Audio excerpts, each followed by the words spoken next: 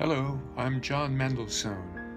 The reason I got interested in house sitters was that it just isn't enough to go somewhere for a week anymore and be there as a tourist. I, I want to go shopping for groceries with the locals and spend some time somewhere.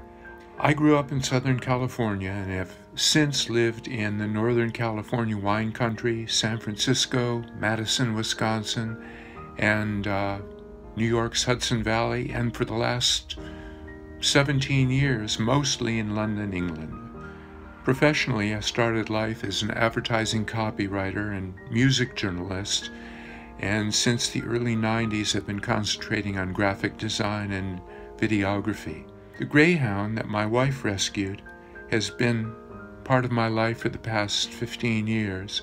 Before that, I had cats, so I'm comfortable taking care of animals. I'll treat your home as though it's my own.